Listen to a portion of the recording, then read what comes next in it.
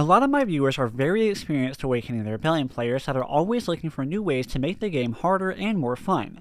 I was recently playing Third Age Total War and it posed a certain challenge on myself to make the game more challenging, but also more realistic and fun. This challenge has one simple rule. No pausing of the game is ever allowed. This includes both on the galaxy map or during tactical battles, but if you want to make it easier, you can choose to do only one or the other. The No Pause challenge in Empire at War will completely change how you play the game. On the Galaxy map, the No Pause challenge will test your knowledge of the faction you are playing to its core, as you will need to build everything needed and move units around as quickly and as efficiently as possible in order for you to find success. During tactical battles, you will likely need to slow down your advance to allow yourself the ability to give out commands when necessary, as your ability to simply pause the game and micromanage each unit will be taken away.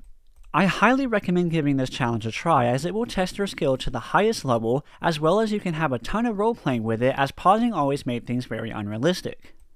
One last comment. When a tactical battle has appeared on the galaxy map, you still cannot build anything as technically the game is paused. Drop a comment on what your favorite challenges are that you love to impose on yourself to make Empire at War more fun and challenging. Subscribe to my channel for a ton of Empire at War content from top 5s to tutorials to campaigns.